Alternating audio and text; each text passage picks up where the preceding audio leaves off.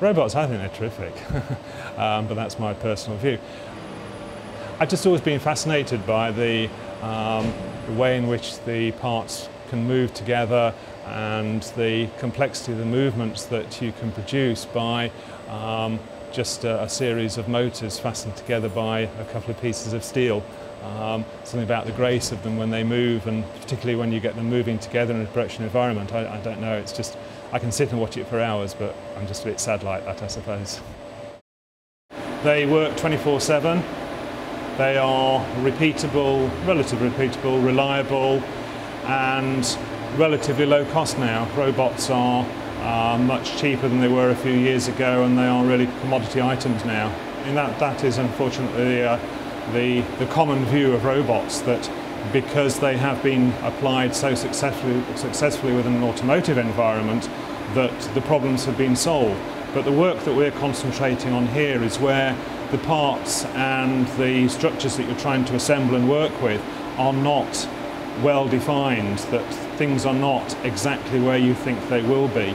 So you have to put a lot more intelligence into the system. What we're trying to do now is where previously robots have been used to replace unskilled and semi-skilled operations, we are now working on using them to replace skilled operations. We build, um, well, the, if you like, the correct word to use is large compliant structures using robots.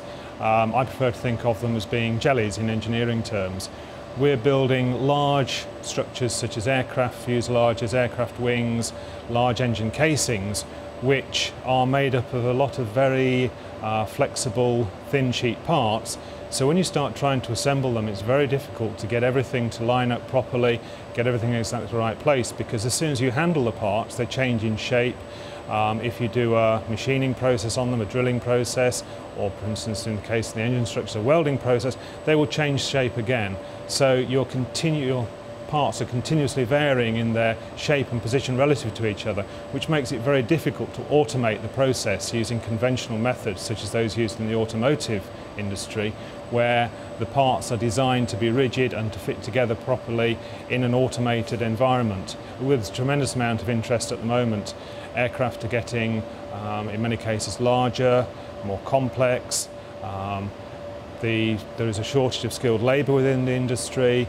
Um, they need to control their costs because of the threats coming from the developing economies. So yes, tremendous amount of interest at the moment in trying to increase the amount of automation and also the increasing volumes. Aircraft, although we hear about the slowdown in Europe and America, if you look at the developing nations, there is a tremendous demand there now for aircraft as their own civil aviation industry is beginning to expand.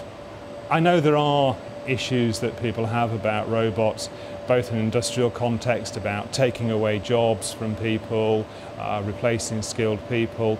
I think we have to be realistic in, in certainly in the economic situation that we're working under today, that there is in many branches of engineering a skill shortage and there are a lot of pressures from lower cost labour and unless we can deploy robots to fill the skills gap and to reduce the cost in the product, we are going to struggle as an economic uh, power in the future.